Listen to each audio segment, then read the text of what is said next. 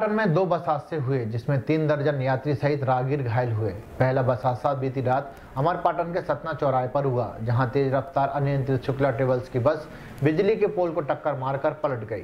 इस दुर्घटना में दो राहगीर घायल हुए। बस हादसे की वजह तेज रफ्तार रही। वहीं इस हादसे के दौरान बस ड्राइवर की लापरवाही भी सामने आई है। बस चालक शराब के नशे में था। वहीं दूसरी घटना अमर पाटन के मजगवा में हुई, जहाँ गरीब रथ बस ग्रामीण क्षेत्रों से होकर अमर पाटन की तरफ़ आ रही थी। तभी तेज गति से आ रही बस मोड़ के पास अनियंत्रित होकर पलट गई। दुर्घटना के दौरान बस में सत्तर यात्री सवार थे। यात्रियों से भरी इस खचाखच बस में दो दर्जन से अधिक लोग घायल हुए। मौके पर पहुँची डायल हंड्रेड पुलिस ने सभी घायलों को ग्रामीणों की मदद से सामुदायिक स्वास्थ्य केंद्र के अमरपाटन भेजा, जहाँ घायलों का इलाज जारी है। साथ ही इलाज के दौरान गंभीर हालत को देखते हुए आठ लोगों को जिला अस्पताल रेफर किया गया है। सड़क हादसे के दो अलग अलग मामलों पर थाना पुलिस ने मामला दर्ज कर जाँच पड़ताल शुरू कर दी है।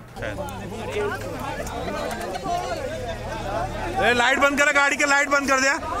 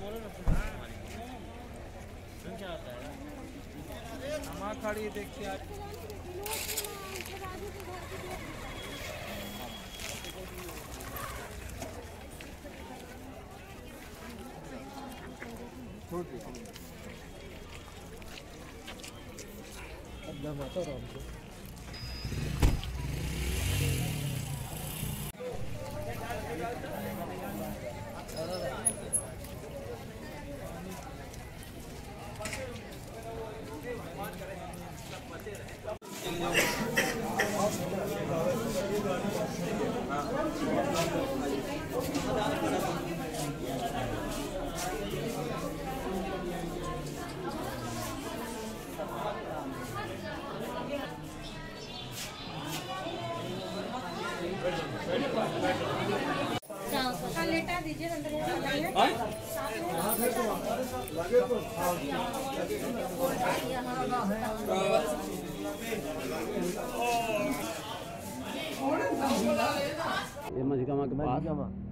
मजगांव पलटी। कितने लोग थे बस में?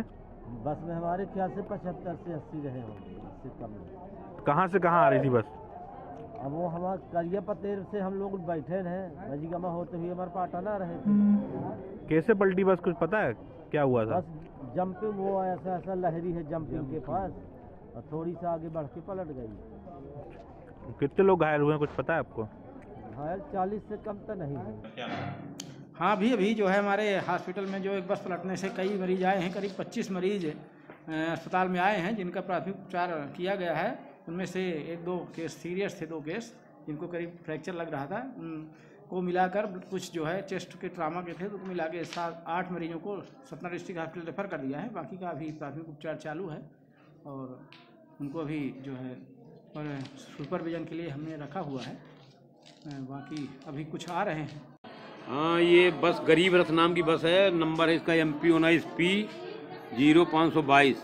ये रीवा से अमरपाटन की ओर आ रही थी देहात से गाँव गाँव तरफ़ से।